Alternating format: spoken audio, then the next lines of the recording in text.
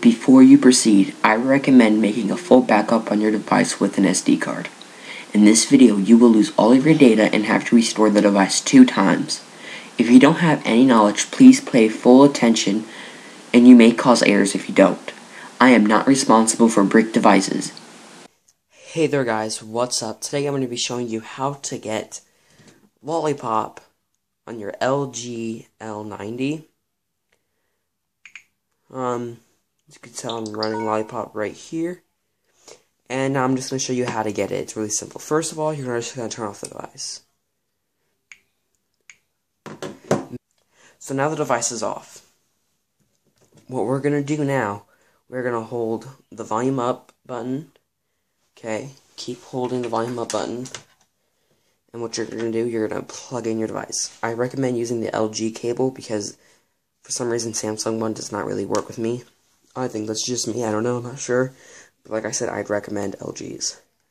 Hold volume up and plug in. You're going to get this menu. It's going to take a little bit to get into the download screen. Just give it a second. You cannot do this until it's in the download screen. And remember, please make a full backup before doing this. Um, save it to your SD card because you will lose the backup if you save it to your internal storage. It will not work out if you had saved it to your internal storage. Alright, now we're going to go ahead and go to the PC. Hey there guys. Alright, so now we are on our PC. So now we're going to go ahead and go to our file system. Um, depending on where I saved it, actually I know where I saved it. It's in the recovery drive folder. LG LG Flash Tool. We're going to launch this. It's going to ask you for admin, so the screen is going to go black because it doesn't really... Okay, then okay, it will later though. I know that for sure. You're going to click this folder. Um, I don't remember where I downloaded this uh, Flash tool, but I will research it and put it in the description. If it's not there, it's because I haven't had time to do it, so it may be there. I will try to do it. So, you're going to pick a KDZ file, alright? Just pick the KDZ file. Um, the link will be, for sure, in the description for this kind of uh, version. It's D41520B. Um, if you want the D41510C, that's the very first stock ROM, and the D41510E is the um, update that got rid of the root access, and D41520B is Lollipop. So this is Lollipop right here. And then what you're going to do, you're going to leave everything here the exact same. You change anything, it can result to um, issues. So you're going to click normal flash, okay? Don't type anything, don't type anything at all whatsoever. Nothing goes here. You're going to click start.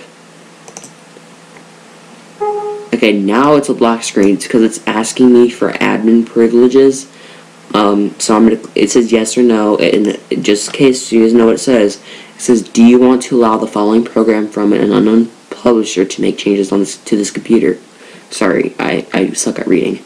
Um, program name, LG user cs2.exe, you know, blah blah blah, hard drive on the computer, whatever. I can show details and it's just a bunch of codes. We're gonna click yes. Sorry, I just had to because some people think it could harm your PC. It will not harm your PC whatsoever, okay? You're gonna click different country. Um, I don't think this would matter if you don't do this, but I recommend it just to change it to where you are, I guess. Um, but yeah, and then you're going to click OK. So then it's going to take a couple of seconds for this LG window to appear that you cannot remove. So it's going to say here now, it's going to do this thing. I don't remember what it's checking for, but it's going to say with some kind of server error. You're just going to click OK. It doesn't mean anything. You're just fine. Uh, nothing went wrong. It's going to look like something went wrong and failed.